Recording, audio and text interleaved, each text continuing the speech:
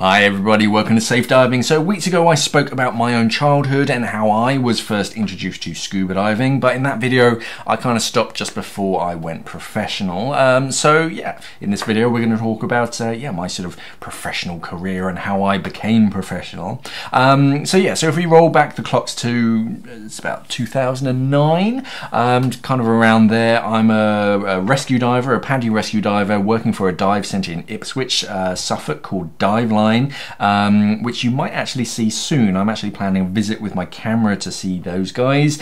Um, so you can probably see where I sort of learn almost everything I know about scuba diving um, in the next coming weeks.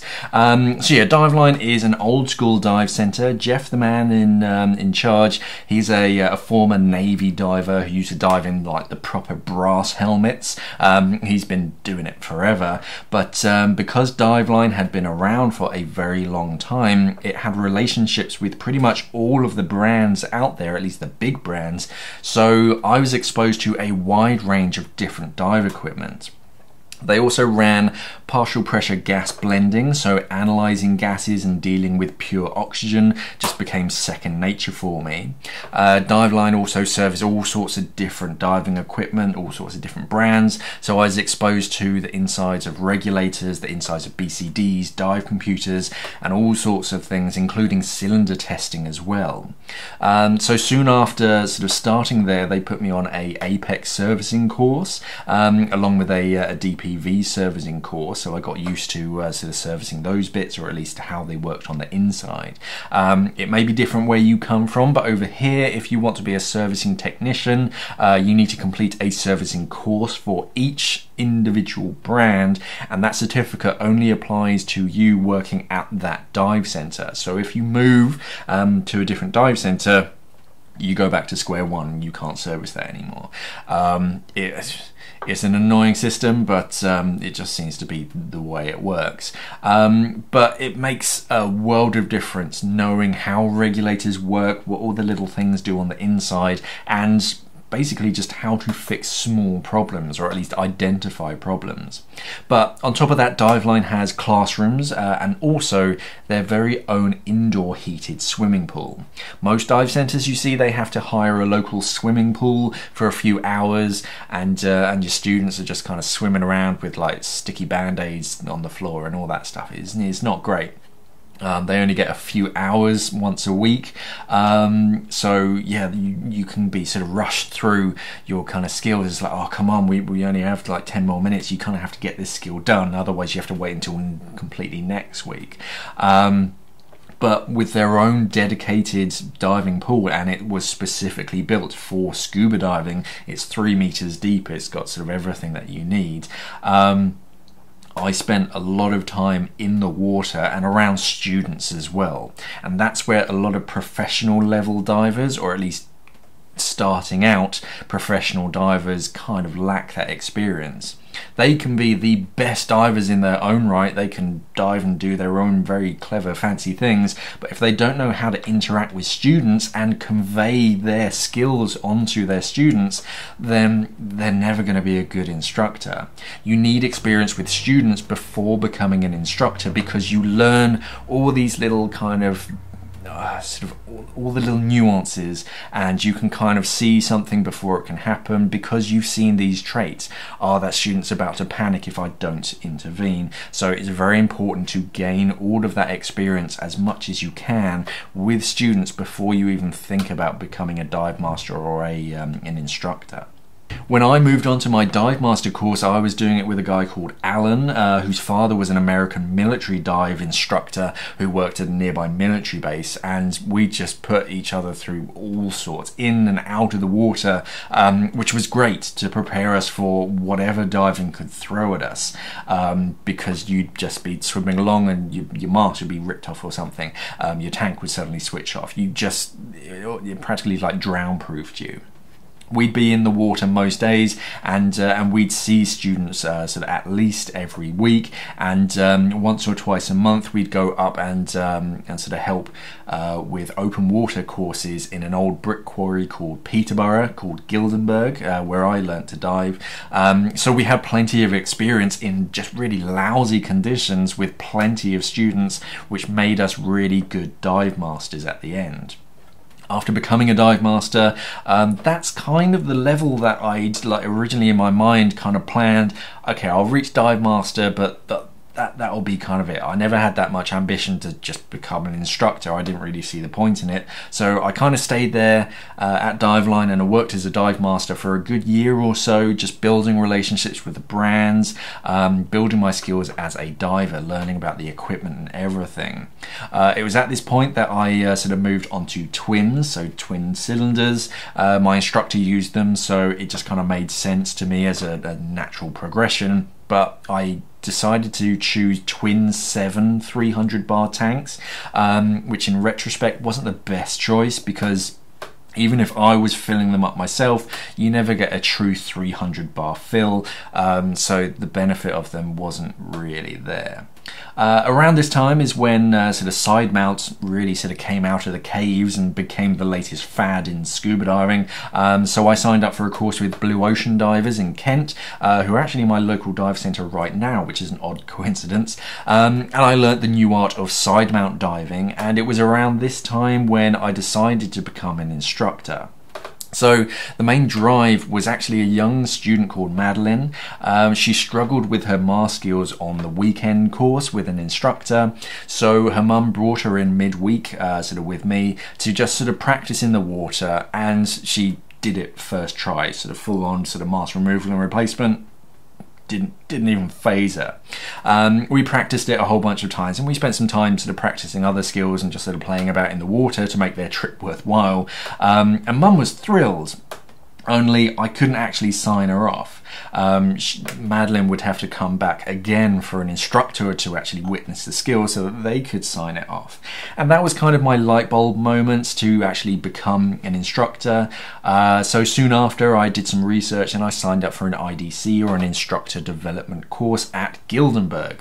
Uh, Gildy was where I taught, and um, the conditions aren't great, which is actually the best place to uh, sort of learn and test your skills. Become an instructor in beautiful, clear blue water is great and all, but if you're suddenly plunged into zero visibility, you don't have the experience to become a great instructor. So yeah, you you really need to learn in that environment and then anything else is is a bonus. So if you do want to become a great instructor, you want to train in the worst conditions possible. If you can cope there, then blue water's a cinch. IDCs can either be really long and drawn out or short and intensive. So I've been working at a dive center for a good year or two at this point, uh, so I just signed up for the intensive course, uh, which was nine days of instructor training, and the following two days straight after that uh, were the exams. So I was the only instructor candidate on this course, which is very unusual. Um, so all of the focus was right on me, which was nice. It was personalized. Some people actually pay extra to have one-on-one tuition, but for the instructor course, um, for presentations and things, you don't have anybody to prepare with. You don't have anyone else to kind of bounce ideas off of. So it was quite intense. Um, and this was in March as well. Um, so like just the dead of winter, it was drizzly, it was cold, it was horrible. I was staying in a portable cabin that was probably older than I was and it didn't have running water. So I'd be sleeping in a bed in a sleeping bag with a space heater just to keep me warm. Um, so I had to demonstrate snorkeling skills in a dry suit as well in open water. That was unusual to say the least, but I completed the course. Um, I don't remember a whole lot from my actual IDC. It was, yeah, nine days of um, sort of nothing but uh, sort of talking about becoming an instructor. But um, all I really remember was sort of mainly about knowing how to find information in the instructor manual and demonstrating the skills that I'd likely be tested on. Uh, I did learn to take my time whilst demonstrating skills. I was taught to break every single skill, even sort of mask partial flood, into five separate parts and actually pause between each part whilst over exaggerating every single motion to make it really obvious. I was also taught to demonstrate surface skills without talking, uh, which was quite testing. It, it's quite hard to do how to assemble a scuba unit without saying anything. That's a weird thing. Um, for instructor, you don't have to do the same watermanship skills that you do for dive master, which is quite nice. Uh, for those of you that don't know, dive masters have to do a lot of swimming and treading water uh, to make sure that they're physically fit and able to uh, to do it. And you're graded sort of one through five for each of them to make sure that you're fit and able. Uh, for instructor, you just have to do like one surface swim, as far as I remember all it really was is a swim. Uh, I can't remember the distance, someone will put it down in the comments below, but you have to do a certain distance uh, wearing mask, fins and snorkels and the only real sort of caveat is you're not allowed to lift your head out of the water. That's pretty easy for a dive instructor. Um, we did this at a, a local swimming pool because it was it was a bit nicer than the open water, and I imagine it's a bit safer. Um, but my instructor actually lost count of how many lengths I've done, so um, I'm kind of head down. I don't want to lift my head out of the water, and um, I'm kind of counting in my head how many lengths I have to do. And um, yeah, they they lost count of how many lengths I've done, so they actually made me do two more just to be safe, which is nice of them.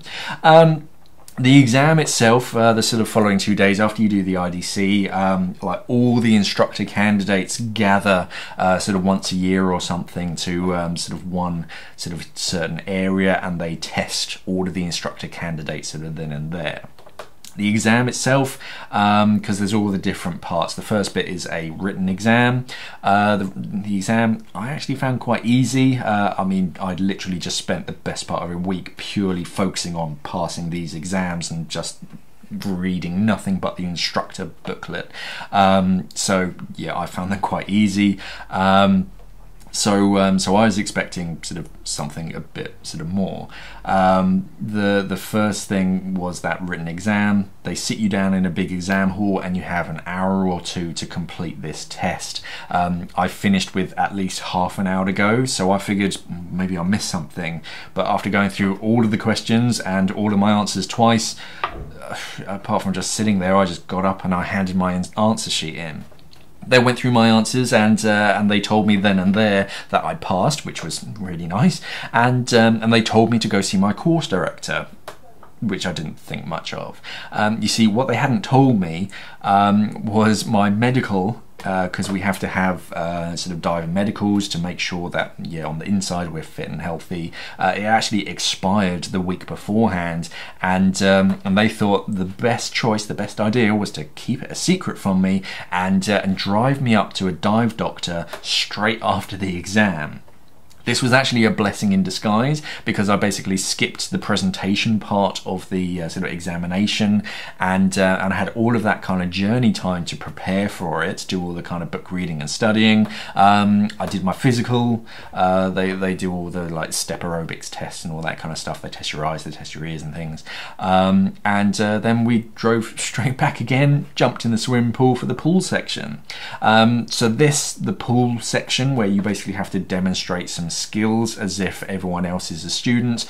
This actually confirmed my confidence because watching the other candidates demonstrate skills made me feel great. If that was the caliber of other students looking to pass as an instructor, then I'd be fine that was all completed and uh, all I had to do was the presentation uh, in my own classroom with one of the exam uh, the examiners so that was very comfortable. The other candidates had to do it in front of like the rest of the group. So for me it was just one on one and I was somewhere that I sort of recognized and I was very comfortable in so that was a huge benefit for me. Uh, the following day was um, actually open water day, and my instructor Dave, uh, the guy that taught me uh, sort of open water and advanced and rescue and even dive master, he actually drove all the way up to uh, sort of be with me and cheer me on, which was really nice of him. Um, again, it felt a lot like sort of jumping through some pretty big hoops for me because I've been diving at Gildenburgh for years, and uh, this is where we're being tested. I've been sort of teaching people and practically demonstrating skills for students um, sort of in Gildenburgh anyway, so this was really well in my comfort zone. So after demonstrating a few skills and assessing a few skills in open water, I was signed off and I was a fully qualified instructor. Um, not much actually changed really, only the amount of paperwork that I had to fill out um, and my signature actually changed. My signature used to be a very sort of eloquent uh, sort of affair and uh, sort of all fancy, but when you have to sign about 12 different times for each and every student, um, my signature became much simpler and much quicker. It's very easy to get sort of carpal tunnel syndrome because you have to sort of sign off. If you go to your um, the first page of your um, of your logbook, your um, your student logbook, you'll see how many times your instructor had to sign off every single section, every single skill. Um, yeah, your, your signature gets really basic after a while. Um, but I taught here in the UK uh, as well as Egypt and the Red Sea quite often. Um, after a while, I got a little bit stir crazy because not really much changed. It was just uh, every other week it was a new set of uh, sort of open water students. Occasionally you'd see an advanced, but um, yeah, and very rarely you'd get a, uh, a, kind of a rescue course. So I did start to get a little bit stir crazy and didn't see much progression for me. I didn't fancy throwing any more money at PADI uh, doing specialty instructor courses or staff instructor and then on to course director. I, I barely thought that instructor was really kind of where I wanted to be. So yeah, course director was never my um, my kind of ideal.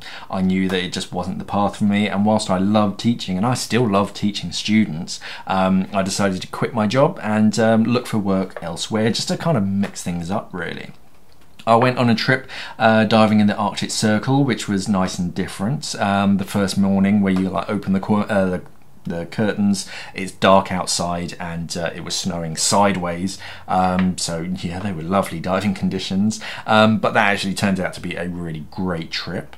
Um, this is about the same time that my sister had made a, uh, a similar decision to quit her job in London and, uh, and emigrate to Australia. So that was a, a uh, sort of a big, uh, big change for her. Before that, we were um, invited to go on a trip to uh, to BVI, the British Virgin Islands, which was just an amazing trip. I took the group scuba diving a couple of times and. Um, and out there whilst my sister uh, kind of flew to the other side of the world I actually found a job uh, sort of listing for Simply Scuba uh, which I'd always heard about. You hear about sort of Simply Scuba in the industry. Um, I don't think they were quite as much on YouTube. They did a lot of uh, sort of product uh, videos, but uh, it was less like lifestyle stuff. It was more sort of purely product based.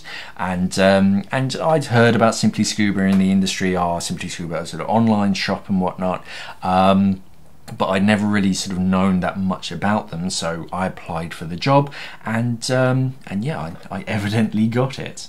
Um, now, I've already taken up enough of your time talking about myself on this video, but in the next video, I'm going to talk about what I did at Simply Scuba, how I got that job. Uh, if you want any advice on how to get into the industry, then of course, yeah, just let me know down in the comments below because there are lots of different career paths for scuba divers. And um, yeah, don't forget to check out my Teespring shop for safe diving merchandise. If you need a new diving t-shirt or a phone case or, or whatever, I even do a, um, a hoodie for dogs and all sorts. Um, who knows? The link's down in the comments below. Check out the uh, the Teespring link. Thank you for watching, and of course, safe diving.